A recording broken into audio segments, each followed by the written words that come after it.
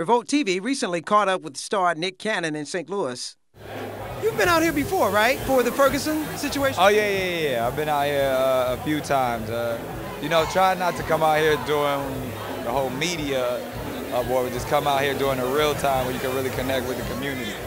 I asked Nick if he believed actors and musicians have a responsibility to speak out about Ferguson and issues affecting the black community.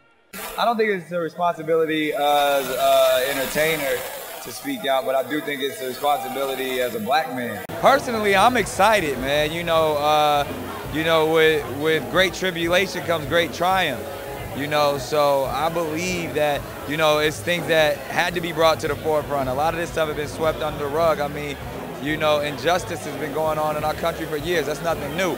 But now that we have the ability to, to speak out and people are paying attention. And these young people are, are fired up, man, whether it's in a, in a way that they may not know how to uh, direct a lot of that energy right now. They're still fired up in a way that they want change. They want things to happen. They want their voices to be heard. So now as leaders in the community, we need to, to take all of that energy and guide it in the right direction so we can make some difference in our communities.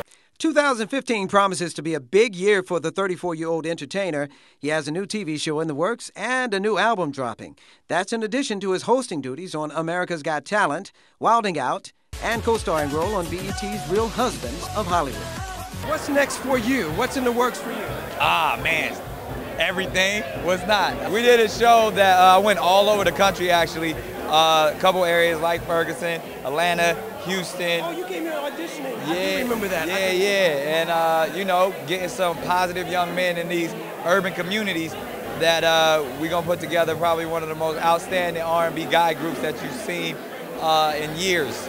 So uh, that's gonna be fun, and then plus we got you know everything from Wild 'N Out. Title for the show yet? Uh, I do, that I can't give you. Okay. Uh, we got Wild 'N Out 10th season or 10th year, America's Got Talent 10th season, uh, Lifestyles of the Rich and Famous. Cannon made waves when he recently took to Twitter to slam rumors he would be dissing his superstar wife on his upcoming album, saying, quote, I will never say anything negative about Mariah Carey. We are forever a family rooted in love.